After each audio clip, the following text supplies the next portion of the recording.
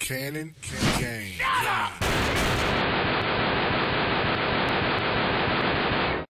Maybe that'll learn you to keep your big mouth shut.